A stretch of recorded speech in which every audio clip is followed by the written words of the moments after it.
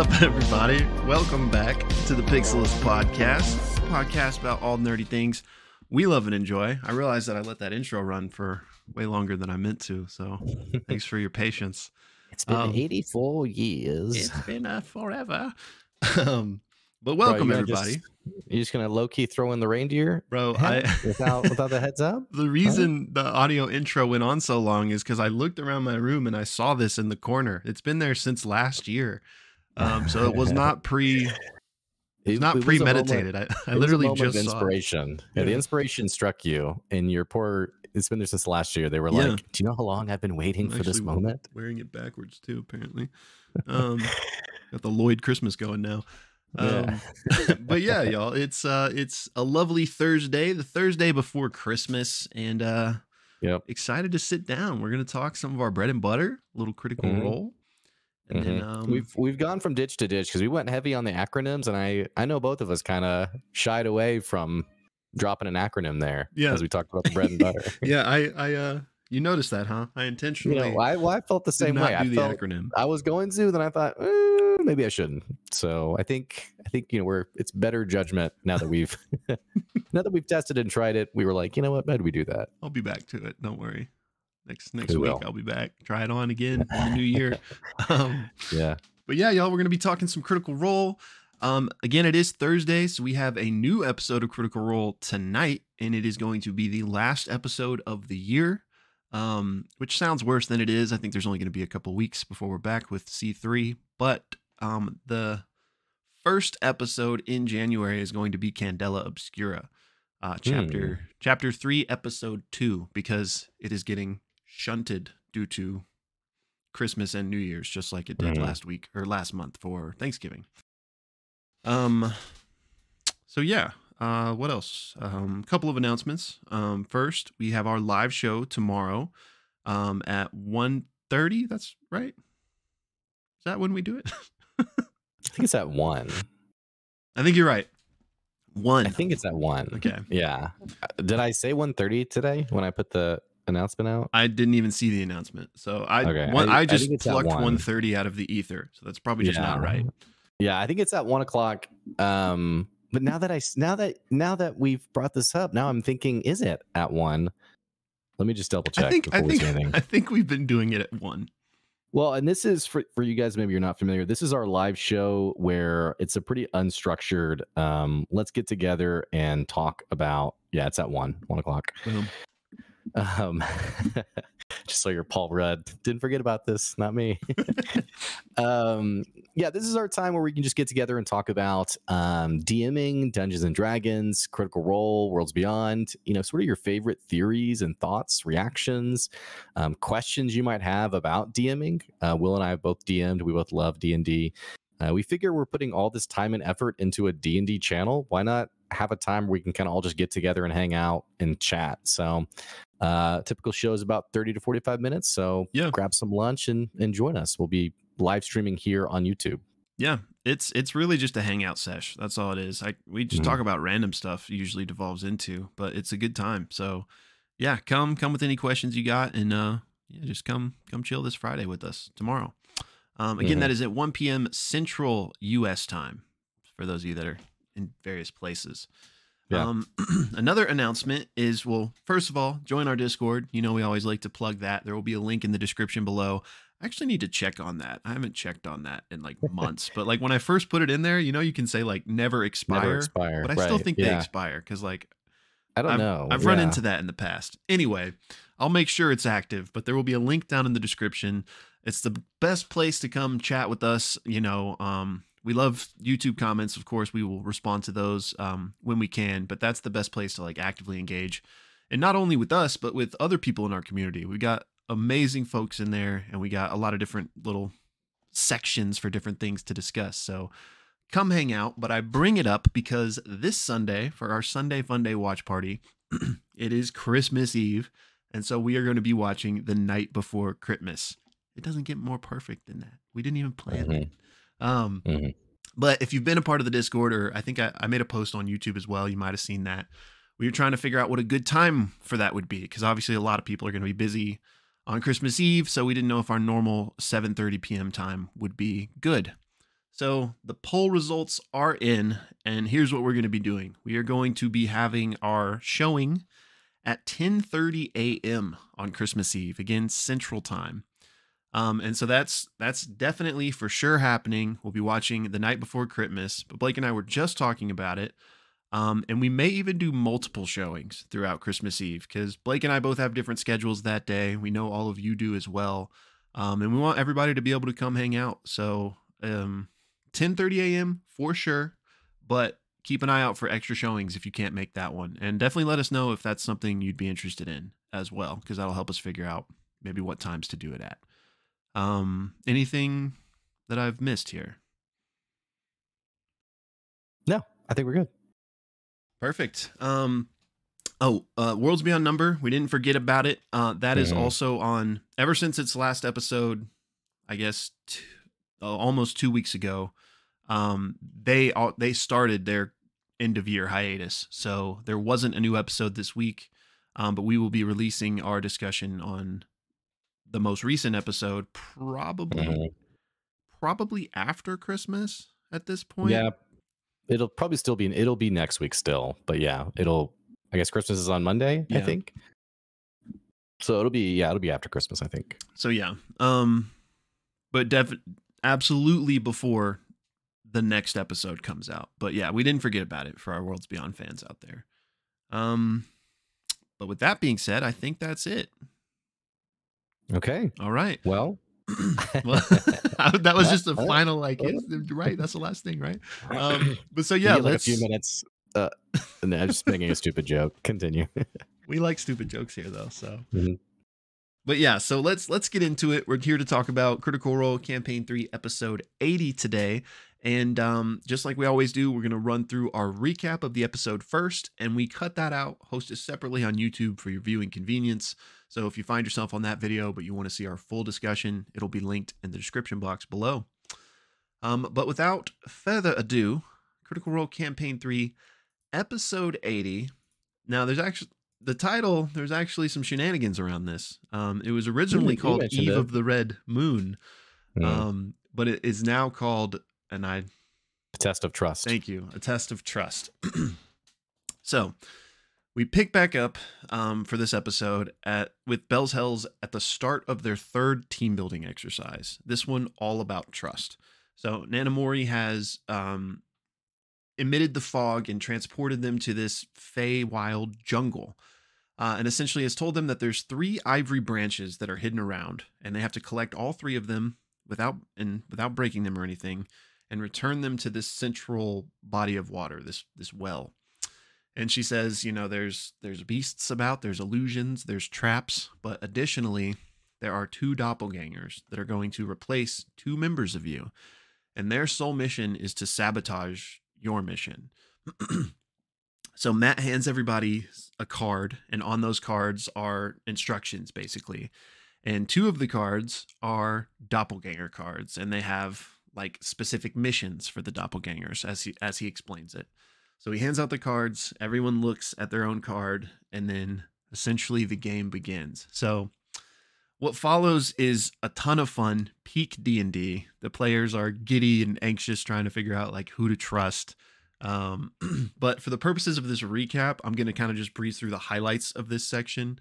Um, so various members of the party go looking for these ivory branches. Um, we have some sets, or excuse me, we have some traps that are set off, and uh, essentially just perception checks are being made to look for the branches. Insight checks are being made between the players. Um, again, they're all like, they're all kind of like super giddy and like not, not trusting anything anyone says. Um, it's a lot of fun. But Ashton actually manages to find the first ivory branch, and we find out they have three hit points. And if they break, the team loses.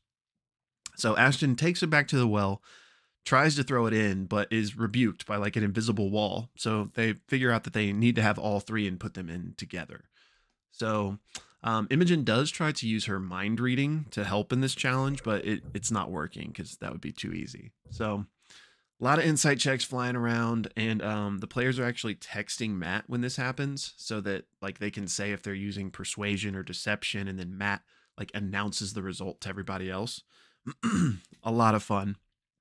Um, at one point, a creature does dart out of the bushes and steals the branch from Ashton, uh, but Orym is able to get it back with like an Indiana Jones seedling vine whip. Um, uh, the FCG speaks with animals to look for hints. Uh, Fearne speaks with plants to look for hints. Neither of those really pan out. Um, there are a little bit. There's a little bit of combat between some like Feywild vicious shrubbery and like a an owl at one point.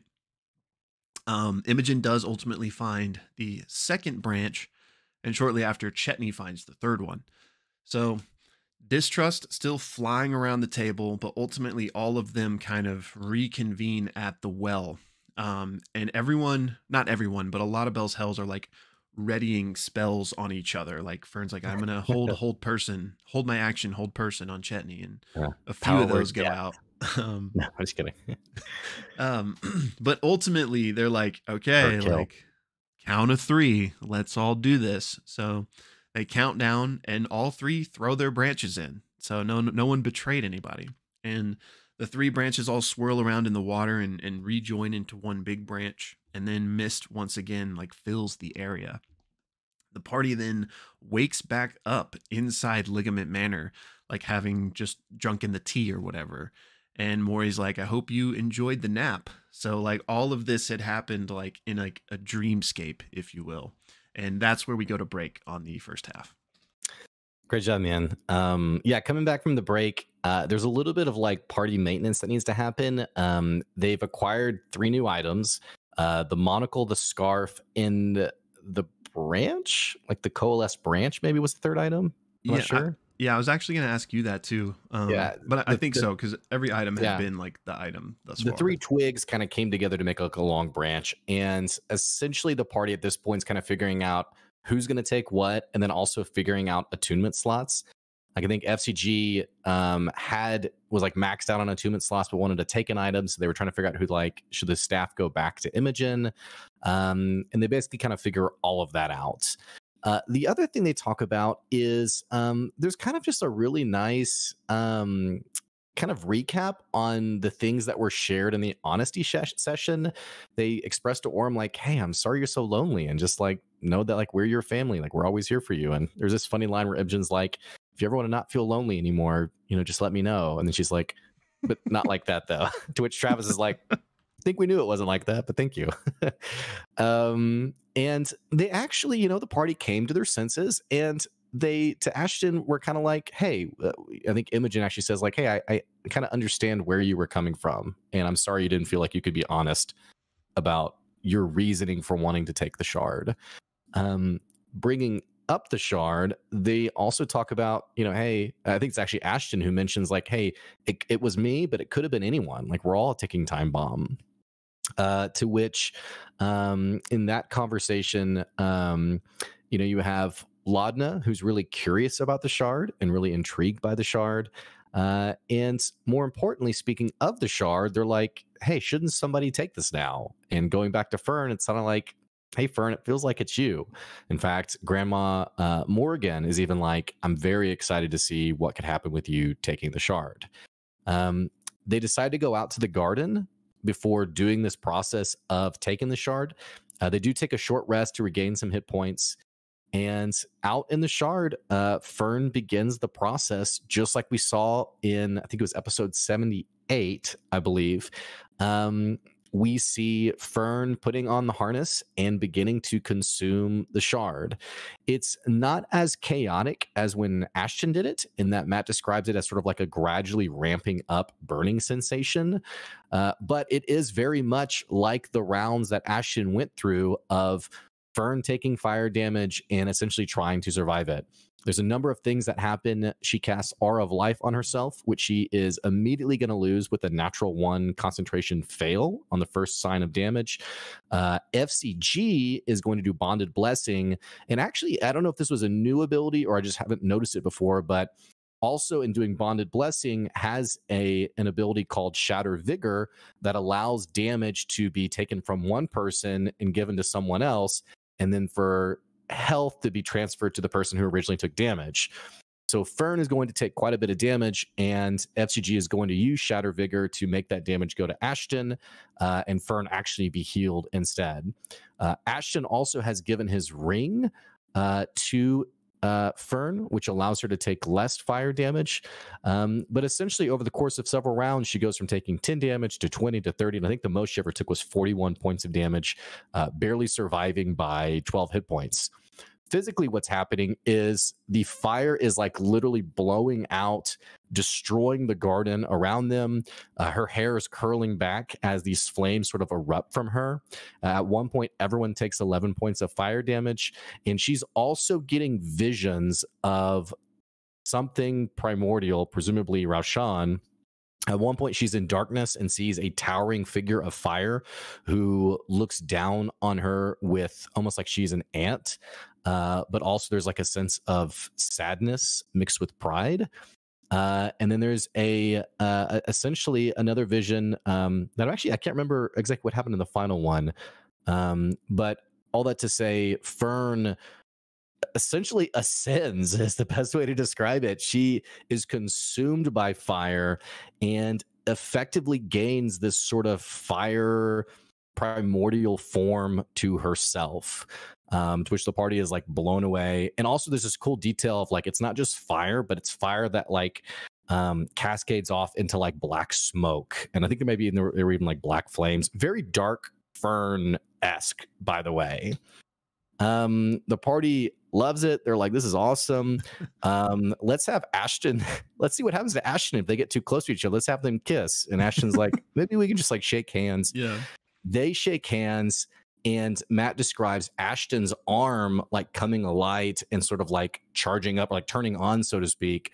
Both of them get very big um, magic item cards or like mm. ability cards, yeah. uh, which they frustratingly don't read to the group. Um, so we don't know quite what happens. We know that Fearne has some kind of fire form that she can turn on and off, and Ashton that they have some kind of like mold with earth kind of ability. Not not shape earth, but like they can meld themselves into the earth in some way. Yeah, it seems. Um, and so they very, had like a earth elemental form, right? Yeah, where they like he eh, he eh, he grew like two feet or something, mm. and it was like it became very swole. it's pretty much what it was. Um, so we've been talking a lot about the party needs big power ups, and it seems like the two of them did. Uh, and the party decides, hey, I think we're ready to go on this recon mission, and that is where uh, the episode comes to a close. Episode number yeah, go ahead. I forgot like a massive part in my recap, so yeah. let me just add it here no one was a doppelganger. I forgot to mention that. Yeah, so like that right. was the whole point of the test is that there weren't any doppelgangers and they just had to learn to trust each other. So I kind of left out that very important part. Fearne, they were pegged on Fearne as being the doppelganger who uh, you know, Ashley Johnson just could not convince anyone she wasn't. And then yeah. I feel like Sam Riegel like intentionally was feigning being doppelganger esque, yeah. um, which was really great. Oh, and an important detail about FCG, um, in doing the Shatter Vigor uh, they're taking stress points and they actually go berserk. So when this whole thing with Fearne ends, um, uh, Orym has to basically uh, push FCG away and keep FCG away before FCG is finally able to succeed on a Wisdom saving throw uh, and come back to their their normal self. Mm. So um, that is everything that happened in episode 80, A Test of Trust. If you're watching just the recap, you can click the link below to get our full thoughts and theories and let us know your full thoughts and theories and reactions to the episode. Please, please. Well done. All right, my friend. I love something you said in the recap of this being like kind of classic D and D, and I really we've said that a lot lately, but I, I really felt like that was the case. Just yeah. like the shenanigans and like the who can I trust? It was just all very funny. Yeah, such a such a fun encounter, I guess. If I mean, I guess it's fair to call it that. More of a social encounter. Um, but yeah, Matt this Matt especially. I mean, this goes without saying, but Matt's an incredible DM. Mm. But mm-hmm. he's really flexed that muscle to me, um, creatively in these last couple of episodes with the blindfolded challenge, and then with this really cool mm-hmm. doppelganger um, social encounter. And I know, um, again, we uh, we watch all the episodes uh, live with all you guys in our Discord each week. Um, that's another reason to join. But uh, a lot of people actually were were guessing that maybe no one was a doppelganger. Um, Yeah. which I thought that was I thought that was really cool. Um, a great a great a great twist on that. Um, like I would love to do that to my players, like in a game. Um, but I, I love how committed Matt was. Like, you know, he could have he could have done that same thing and been way lazier about it. But like going through Mhm. to make the cards and explain that like two of these are this and nobody look at each other's and make sure you text me and stuff. Like, I just I loved the commitment. Um, because I think they were I th- I think they started speculating toward the end when like nothing like no big betrayal had happened yet. But for the most part, I don't think that even crossed their mind until like later in the in the scenario. Um, Yeah, there was a point where Laura Bailey said something like, "What if it's nobody?" and then kind of abandoned that thought when Orym, you know, Liam sitting next to her suddenly became very suspicious.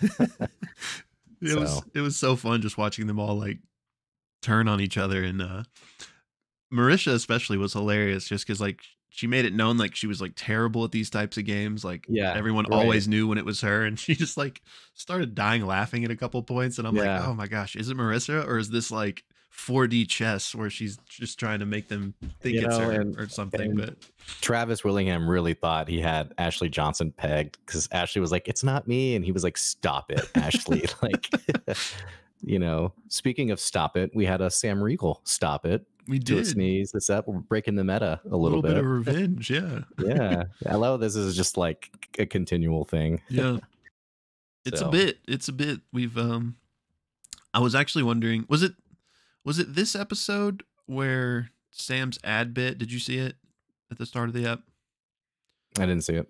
I can't remember if it was this. This is this is irrelevant. Um, but because it might not have been this episode, but he was doing like a lie detector, and um, they like lie, like they started chanting lie, and I was like, is this the birth of a bit? Is this going to be a new thing they do every time? Yeah, Um, but anyway, yeah, I uh just the sneeze thing made me think of that. Um, but yeah, just so much fun, man. Like peak D and D, like to to circle us back to the start here. Mhm. Um, just you know, you could tell how much fun they were having. So always a great time. And then like You so know- just jam packed fun first half, and then finally getting some answers with these shards um in the second Yeah. half that was super cool. So not to not to gloss over if there's anything else Yeah. about the doppelganger stuff you wanted to talk Well, about. all I was gonna say is like I know for me as a DM, sometimes I feel like you know Mac Matt is I said Max. Max Max is- Mercer. um, you know, lose your lose your followers on YouTube in you know five seconds. um, he keeps referring to him as Max Murpher or whatever. Anyway, his evil um, doppelganger name. I I know sometimes I feel like this sense of you know when I explain you know Matt Matt's such a, a wordsmith in really paints a canvas in scene setting. Uh, I think Bren- Brennan does a great job with that too. And I know sometimes I with my players I'm kind of like yeah you walk into a tavern and it it's a tavern. you know and so I think I think for me there's sometimes this tension around like if you're going to give your players a great session you have to be deliberate and elaborate and you know really paint the canvas and at the end of the day you know what gives your players a great experience is i mean think about what they did where the, it was the shenanigans around i think they called it werewolf was the version they're used to but um i know it as like mafia or you know things like that but yeah, among you know, us. fun yeah among us right fun ways for your players to engage with each other like you really don't like matt at that point you move away from being like the wordsmith and instead just sort of like the party ref of like okay text me like keeping Mhm. things in check and i think that's just that's just a sign of a great session you know when the dm is talking less and the players are Yeah.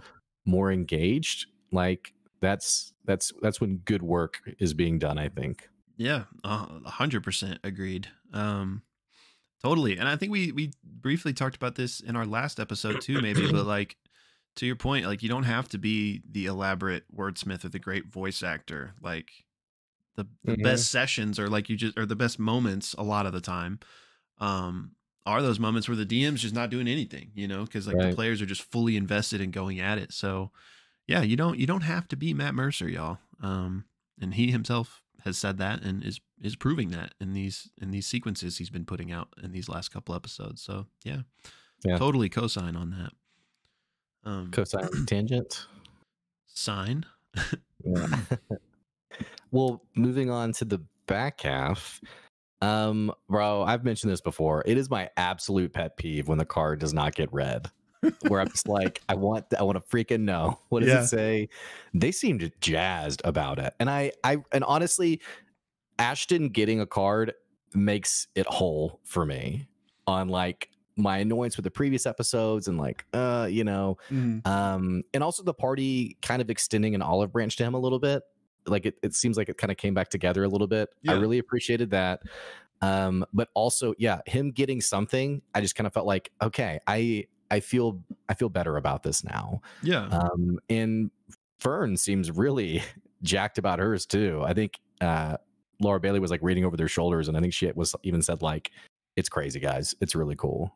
So yeah i i'm with you like we just we want to know those cards and so like i would say for for big things like this that typically is the trend where they don't read it um typically not even like the other players at the table getting to know. Like you said laura kind of read over her shoulder but i think aside from like those people right there they didn't like read like um, they didn't share it i don't think did they?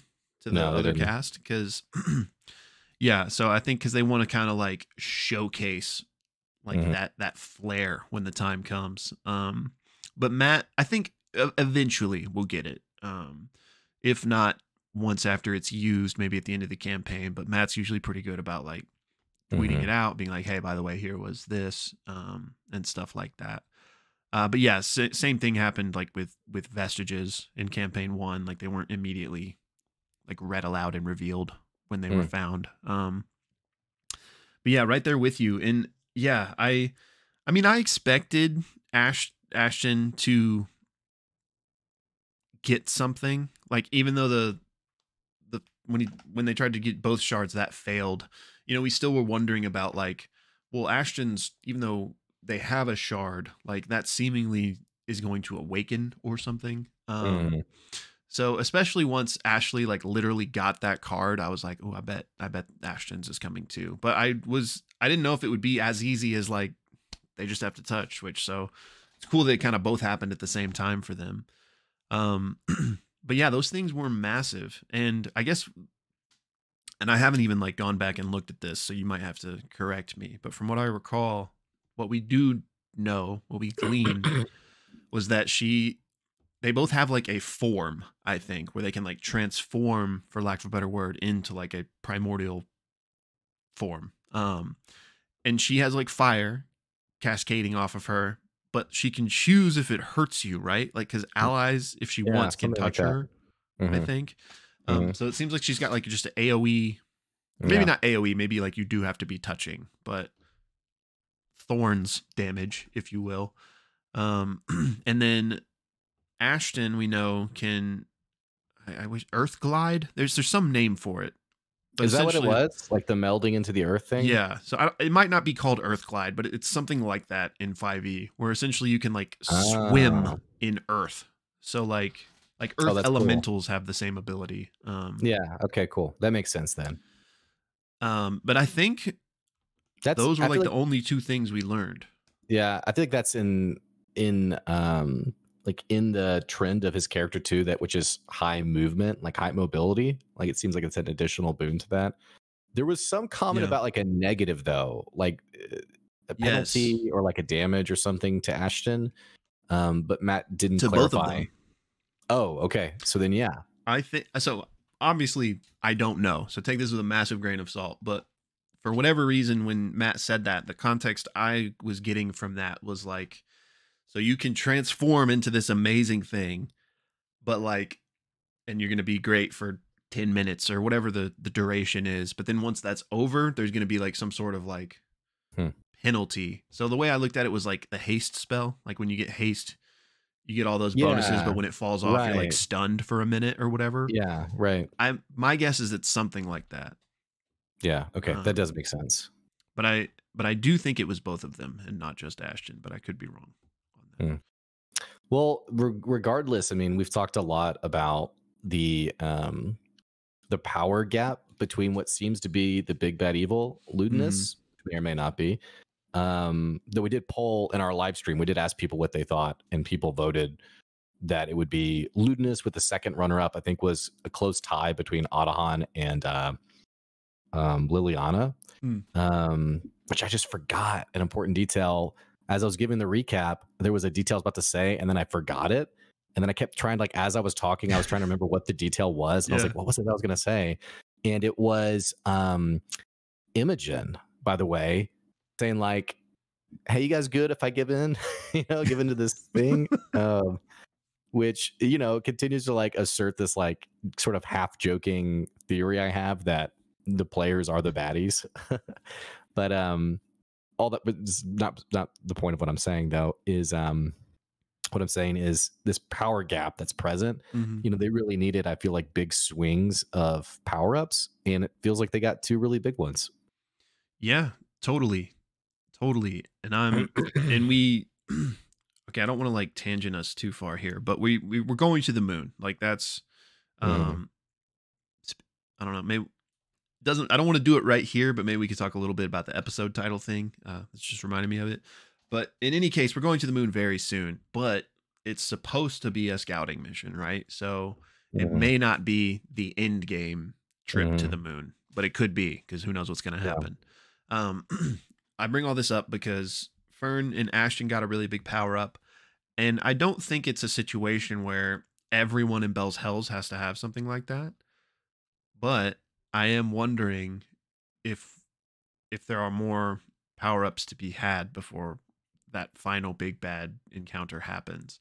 Now, I, that's, I don't think there's a primordial shard out, shard out there for everybody, but I do think there are other things that they could individually utilize the harness for, like Mhm. a boost of some sort. Um, so I'm still curious if if that's in the in the in the in the stars for this campaign, Yeah, or if the- if this is it, like this is the final Yeah. big boost.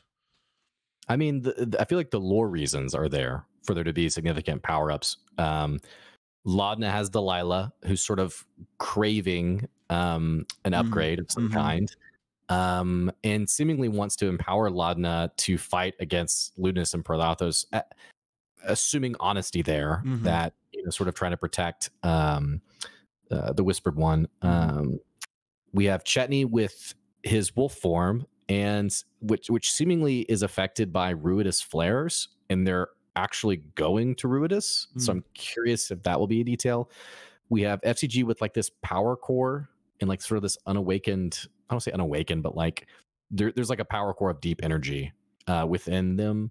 Uh, and then I can't think of anything for Orym, but I mean that's three people right there. Oh, Yeah. Imogen talking about giving in to Oh, the right, Ruidus power. So I mean, right. I think the it- reasons are there if Matt wants to create more power ups. Yeah, and, and Imogen especially because we even had, and it was obviously kind of story driven, but there was even that moment in the big fight with Otohan where it was like give in Imogen, and she did, and she leveled the three city blocks or whatever, Mhm. you know. So like, the the precedent for that is there for her to have a, a power up in that way.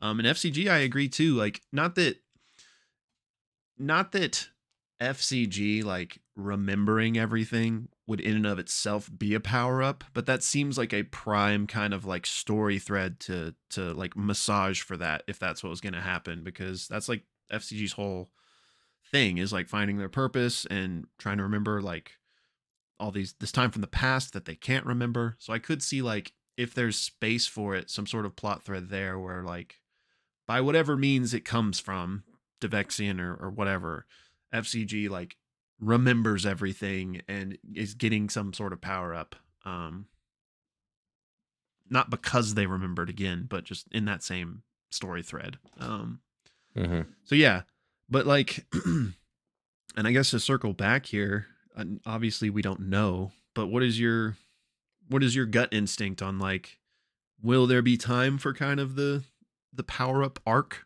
or is this probably it? I think this is it. Yeah. I, I mean, it's not to say that. I think I think I can say it's it, but also say there could be more after Ruidus. Um, you know, maybe the moon splits open and Predathos is on Exandria and they have to go like let's go to you know wherever. um but I, I I feel like if you really think about it, this arc has been very long of going to the Shattered Teeth, um, back to Whitestone, now the Feywild. It, it just feels like it's time, I guess. Um, I think any more interruptions would be uh, pretty detrimental to the overall story. Not that, I mean, at the the day, they're playing D and D. It's like, what do we what do we want to do today, kind of th- kind of thing. But I think also they're, you know, Matt surely has like a sense of like where sort of the story points that can happen, where there's opportunities for that. So, um, I think any other power ups that could happen will be coincidental, and they'll happen um, in line with like their either journey to Ruidus or on Ruidus itself. Yeah, I'd agree with that. Um, and I guess it, I guess it rolls back to the previous question of is this trip to the moon like the final countdown? Or could there be you know more arcs after this? Um, which I I think it's so tough. It's it's a big question we've been wrestling with the entire campaign. Really, like, will this happen? Like, will Predathos be released and and get the gods? And is that like is that wiping the slate clean or, or setting up for like a new era? And that's both like meta and in game. Um, which I think I actually think it would be kind of really cool if Predathos does get out. Because uh, one of the things we talked about at some point in one of these episodes was um I can't I, th- I guess it was Avantravir maybe who was talking about this saying that like what happens if it if he gets out is like the light of the gods like mm-hmm. rushes away and Predathos rushes after them. So again, mm-hmm. not that that is what would happen, but if that did happen, that he gets out, the gods run away because they're terrified, and, and he chases them. That's a really cool setting, I think, because that doesn't mean all the gods are going to die, but it kind of means we're on our own for at least a bit. Some gods might come back, like who knows what could happen. But we now know that there are at least one party on Exandria, which that means there's definitely more, meaning the Unseelie Court that is like primed and ready to take advantage of that situation. So how many mm-hmm. other groups are similarly primed and ready to take advantage of that situation? So I could see like a really cool like storyline being Predathos is out, but like he left, so we're like we don't have to deal with that right now. What we have to deal with right now is uh Suramar or whatever his name was. Um and that that Suramar is from Heroes yeah. of Magic 3. Uh Saminar. Oh, it's from uh wow. It's from World of Warcraft. Suramar is the uh well, uh, isn't elk. it also from uh, Might and Magic? I mean, there's like a blue hero.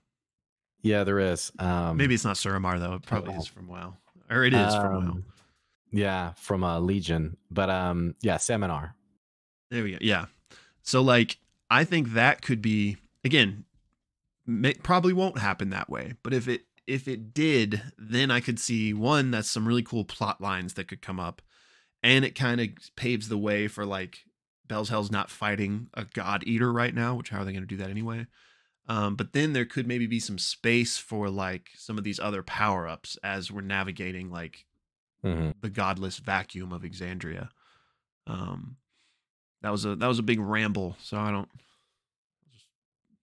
Yeah, I think the story. I think the story ends with Ludinus and not Predathos. Whether Predathos gets freed or not, I feel like the story ends with Ludinus. Like he has been the central villain.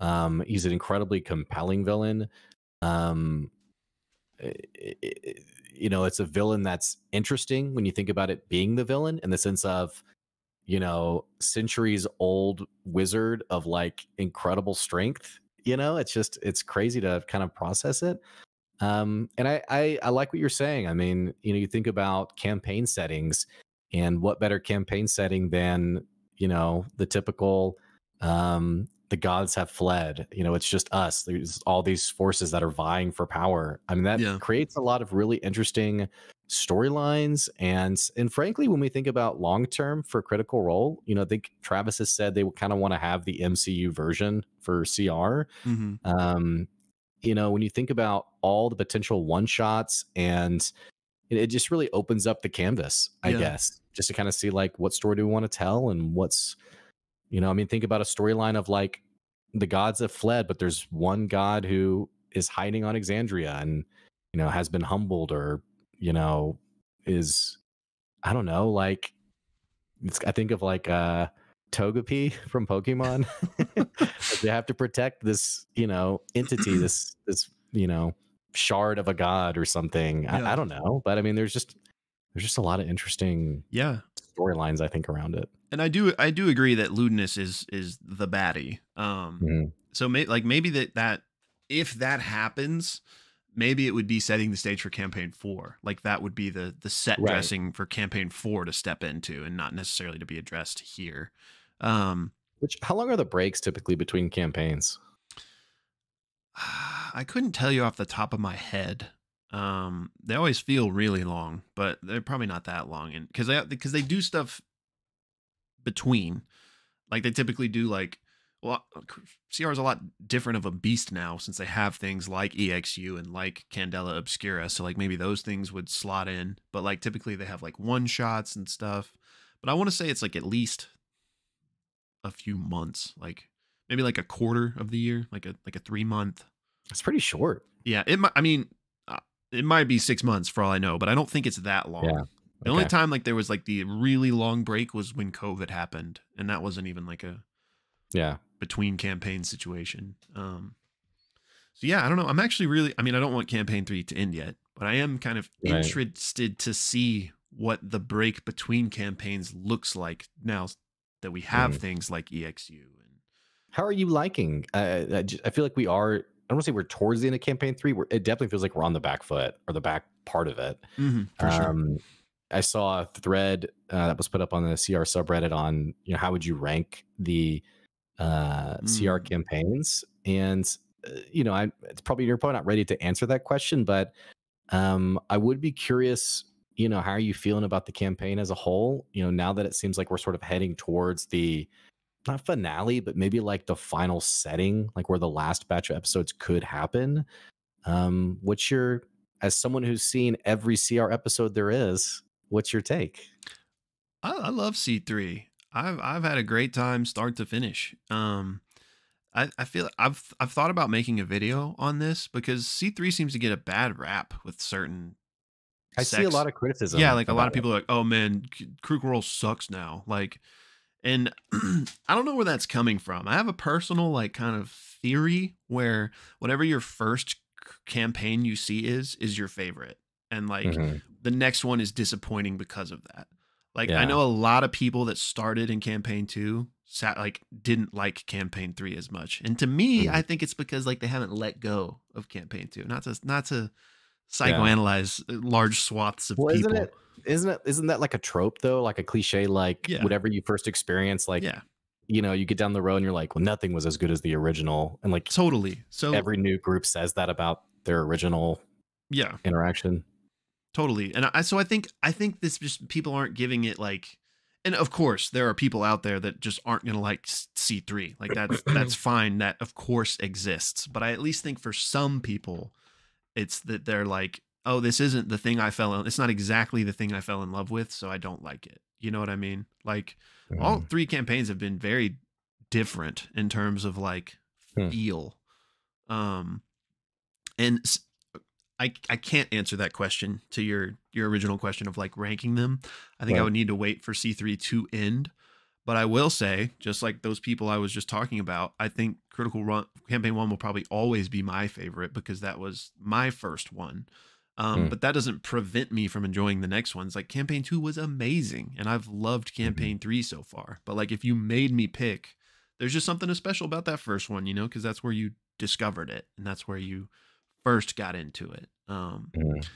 I won't say it's impossible for something to maybe be like, oh, this is even better than campaign one, because like, again, like I'm not even saying that like in a vacuum, campaign one is the best for like these concrete Mhm. reasons. It's more of just a nostalgia is what would put it over the edge for me. Um, but yeah, uh, um, I think a lot of people have have given campaign three an unfair, like, do they just haven't given it a fair shot and th- I'm ba- solely judging this based off like comments that I've seen on our videos or on other Critical Role videos where like I mean honestly the people that are making them I don't even think are like truly CR fans because they're like saying like hateful stuff and being like I don't even want to like give them the spotlight but there's a few I'm thinking of right now and I know like you've seen them and we've talked about them sometimes but being like man Critical Role is all about like being peace this is not how they said it but like being pc and like uh, being like you know woke and stuff and it's like what are you talking about? Like that like they've always been consistent on their their Yeah, views I'm- on those things so like Yeah, I'm I'm pretty apolitical in general, but you know, I think there's a difference between a, an organization that is virtue signaling, you know, that yeah. like doesn't have a history of whatever it is they're purporting to represent, and then an organization like Critical Role that through and through, you know, since they were tiny, you know, have continued to have consistent values. So um uh, separate from like the more political stuff I, I will say that and this is i think this is also just kind of reddit and then this is i guess by the way this is kind of just like a random tangent we're even in this conversation because it's less about the episode but um this may be like a greater thing about reddit in general because i have noticed that reddit it it- and this is very feels craft it feels like reddit has become significantly exponentially more toxic um in the Mhm. last year even than i remember it um, being on it originally several years ago. Um, and it on that note, there are people who are not only is CR not their cup of tea, they are very mad about it Mhm. and like very angry about it. Um, I don't know. I think it's just a sign you need to take a break, I guess. Yeah. Um, but anyway, from like a random dude who's just like been watching, this is my first campaign. Uh, I've had a great time. I love the characters. I love the actors.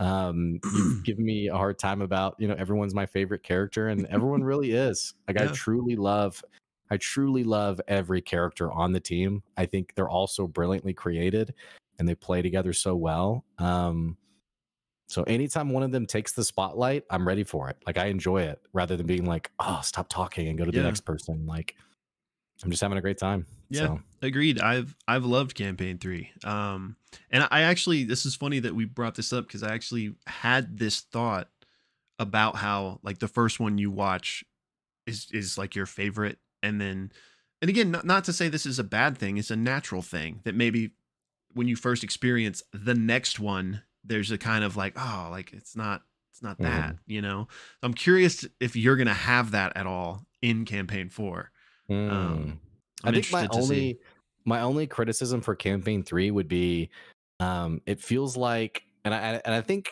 I think if I can rag on you a little bit, I think this is a Oh. little bit of your DM style too. Uh-oh. There are some very long storylines that take quite a while for their payoff.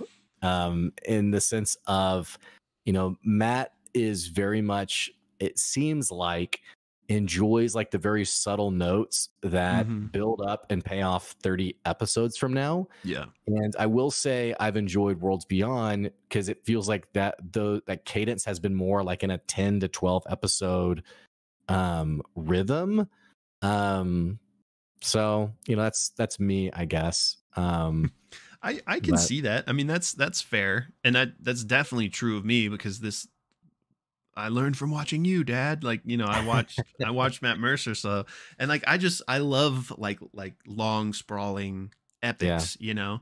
But unfortunately for uh me, like the campaign doesn't get to run as long as Critical Role, so like you know, have all these cool ideas, Yeah, but then we never yeah. got to see the payoff. Um, right. but yeah, that's fair. And I'm not that not that you'll change your mind on it, but I wonder if like when these moments happen, are they that much sweeter? Because like you did like the journey not just because like length makes it better, but I think as long as like Mm. the journey is good the whole time, then perhaps it's a bit sweeter. we talked about it too with um the gap immediately after the apogee solstice episode where we had the two parties and how there came a point where it kind of just felt like you know let's let's get this going a little bit um and i think one of us said in retrospect we would look back on it a bit more positively um it's like you know filler is never really that bad like once you're past the filler and you look back, and not even so much that this was necessarily filler, um, it wasn't interrupting. Uh, interrupting is too harsh. Um, it, it wasn't even a side quest either. I mean, it's just what happened, I guess. But um, you know, I think you may be right in that once the campaign's said and done and all over, you know, the things that I I'm like, oh man, another you know another interruption. Like let's let's see where this is going to go. Mhm. If I'll look back much more positively, uh, that's a very slight criticism. It doesn't really bother me, other than just it's not it's not my style as a DM. It's not my preference as a player, which that's really where the conversation ends. I mean, clearly, clearly, Matt Matt's players have an awesome time, and that's that's really all that matters. So it doesn't Yeah. even really matter what I think about it. So, And there's not that this is worth diving into right now, but obviously we're we're talking about these things from like a, a story standpoint, you know, like you use the word filler and um like in like an anime or something, that's when like they just spend three episodes doing Yeah. some nonsense. You're like, don't get back to the main plot.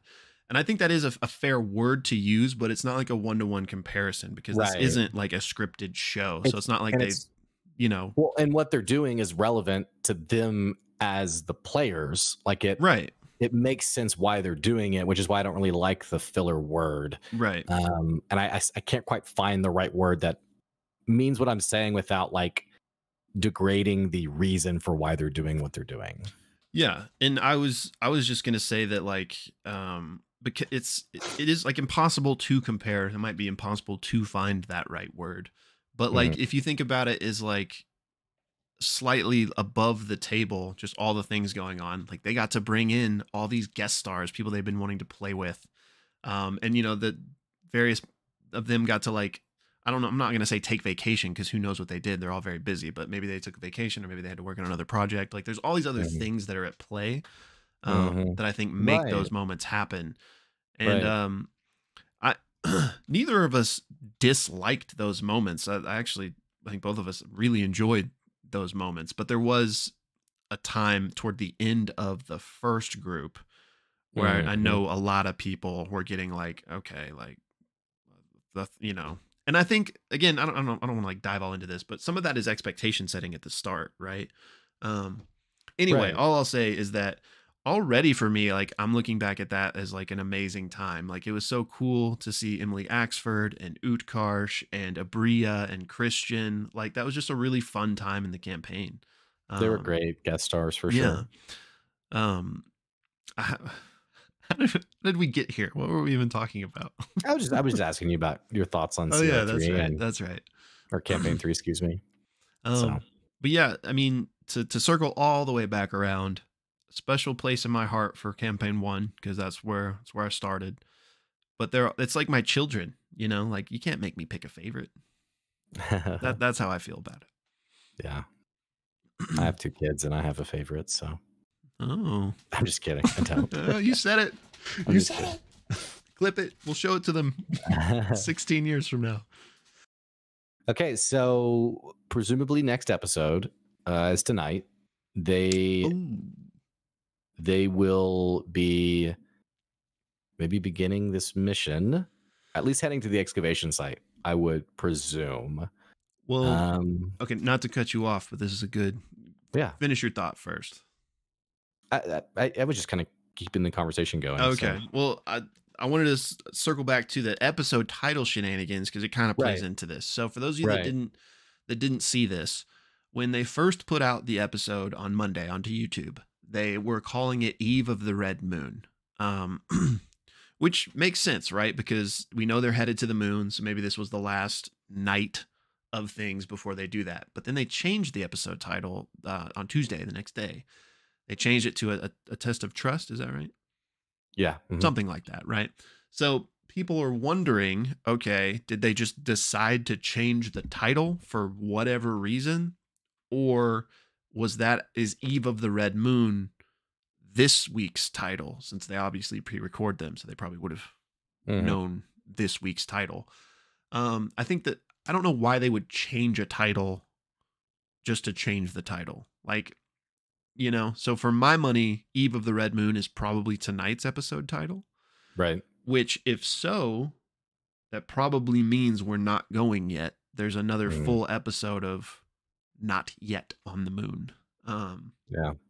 so I, I bring all that up to lead into what you're saying about tonight's episode. That I'm curious if if if if we indeed do not go to the moon yet, what what is a there a full episode worth to kind of go over? Now it could I mean there's a million things. Obviously, we know how long they like to plan things. Like it could be a full episode of planning. Um, could be some more RP because they did they did briefly touch on some of the the things revealed in that it wasn't the test of tr- the test of honesty, I guess. But I personally would kind of really enjoy some more diving into that, like more talking about Chetney's backstory or you know Orym and yada yada yada. Um, or could there potentially be any space for maybe a little power up like we were talking about if we have a full episode before we go? I don't think we're going anywhere. Um, so it would have to be something that could like happen relatively contained to where we are. But um, anyways, yeah, I mean, it could be they go to the excavation site and they don't quite go to Ruidus true, yet. true. Um, I don't know. I feel like if they didn't do anything, it would just only reassert my criticism of, you know, there's just there's just always something that interrupts the flow. Um, so I, I would have a hard time envisioning a whole episode of them not going yet, uh, without there being like a compelling, you know, th- there would have to be a compelling reason for them not to go, like maybe uh the Sorrow Lord Zethudha shows up or Mm. something. Like this is my chance to get Fearne. Mm. Um, I could see something like that. That wouldn't bother me. But like a, a full like RP talk about it kind of episode, I would have I'd have a hard time um I'd have a hard time seeing that out, like seeing what could take up the context for the episode. But it could also it could also be an episode where they get attacked by the Ruby Vanguard. Um Yeah. because Travis or Chetney rather um looked around for any kind of scrying orbs when before they did the ritual. So Ludinus is aware of them. Um so I mean something like that could be the case. Yeah, for sure. I mean, even if it is Eve of the Red Moon, like you said, maybe it's just because they don't actually get there yet, which that would make for a good like cliffhanger place to stop. Of like we we go up the Ruby Bridge and the episode ends. Um, so yeah, I mean, I I certainly could see a long planned session. I mean, that's their bread and butter. So like, you know, I could see even if if nothing happens, I could see the entire episode consisting of plotting out what they actually want to do and then maybe going to the excavation site and maybe there is like some combat with the the Rylora or whoever is is guarding it, Mhm. right? And so maybe that's like there's a combat session and then boom, episode ends. We have not yet arrived. I think that's most like not that like it's exactly that, but I think that's most likely what's going to happen this episode and not like oh, we got to go back to EOS to uh, you know, talk to Professor Sumal or whatever. Um so, yeah, but it Eve of the Red Moon is an episode title that was junking around somewhere for some reason. So, at the very least, I think we have one more episode before we're on Ruidus, um, Mhm. which is exciting. It'll be really interesting to see what actually happens up there. Yeah. Hmm. Well, well, don't have to wait long. I mean, episodes tonight, which, you know, thank you though, those of you, by the way, who tune into our episodes when they get dropped the day of. um, 90% of the time it's my fault because, you know, it's just hard to find time sometimes to watch the app. And I was out of town this last weekend doing my other other family's uh Christmas. So um what else, my friend? I mean, I, I think that's pretty much it. Um, I guess let us know what you guys thought of the episode and your theories on really the future of the campaign, and maybe even more specifically, what you think is going to happen with Ashton and Fearne. Um, that makes it sound like I'm shipping them, which I'm not against. Um, um, but yeah, you know, they're power ups, I guess. yeah. So, and then don't forget our live stream tomorrow um, at one o'clock central, and then our night before Christmas on Sunday at 10:30 a.m. Central Time as well. That's right. And tonight we will be having our campaign three Right. watch party at um, normal critical role time, whatever that is for you. Yeah. So again, just join the I- Discord. And I think I will be there for that, by the way, because my raid has been nerfed significantly.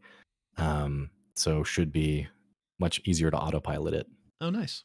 Well, heck yeah, man. So, yeah. So yeah, come uh, come hang out with us tonight, tomorrow, and Sunday. Yeah, just spend your whole life with us. That's right. So, That's right. so I will say um, one big part about our live. If you're still watching this video, one big part about our live stream is we take a lot of questions and just read off a lot of comments from you guys. So if you want to drop any of those comments or questions in advance, you can go to the community tab on our channel. We have a post that's up about the um, live stream tomorrow. So feel to drop, feel free to drop any questions or comments there. Uh, and then also in the Discord, um, you can uh, tag us with a question or comment as well. Yeah. So.